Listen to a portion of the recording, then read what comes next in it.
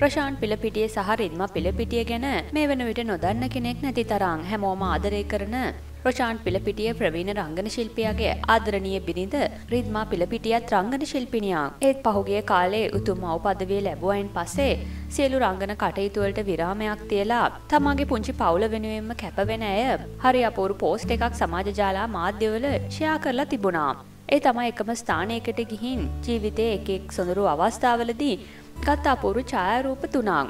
එකම ආකාරයෙන් එකම ඉරියව්වෙන් ගත්ත මේ අපූරු ඡායාරූප පිටුපස හරි අපූරු කතාවක් තියෙනවා.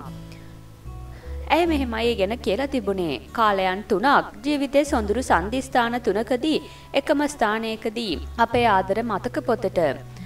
පළවෙනි ඡායාරූපය බැඳපු අලුත.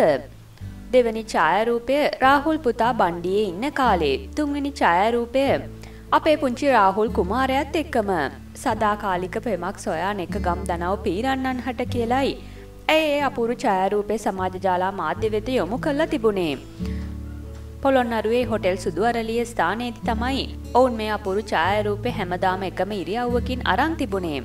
මේකෙන් දැක ගන්නට ලැබුණේ රොෂාන් පිළපිටිය ආදරණීය බිරිඳ රිද්මව වඩාගෙන ඉන්න අපූරු ඡායාරූපයක්. ඉතින් මේ විදිහට මේ ස්ථානයේදී තව තවත් දරු පැටව් වඩාගෙන ඉන්න හැමදාමත් ඡායාරූප ගන්න ලැබෙන්න කියලා අපේ උන්ට අපේ සුබ පැතුම් එකතු කරනවා. ඒ වගේම මේ ආදරණීය පවුලට හැමදාමත් ආදරෙන් සතුටෙන් කල් ගෙවන්න ලැබෙන්න කියලාත් රසඳුන අපි ප්‍රාර්ථනා කරනවා.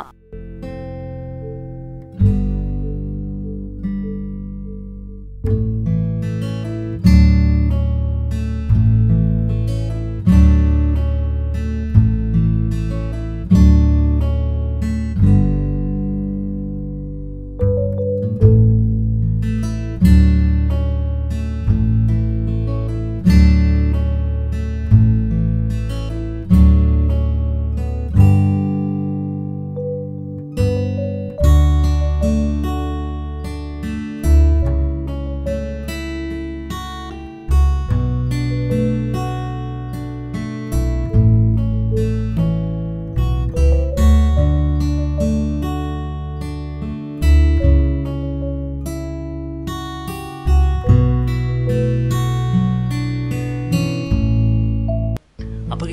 තාම සබස්ක්‍රයිබ් කල නැත්තම් මෙන්න මේ බටන කලික් කරලා අපිය සබස්ක්‍රයිබ් කරන්න. ඒවගේ මෙන්න මේ බෙල් බට්න ඇක්ටව් කළොත් අපේ චැනලට එකතුන්න නවතම් වීඩියෝ ගැන ඔබට එසනින් දැනගැනීම හැකයාව ලැබෙනවා. ඒවගේ අපගේ ෆස්බුක් පිටුවට පිවිස අප ලයි කිරීමට දමතක් කරන්න එපා.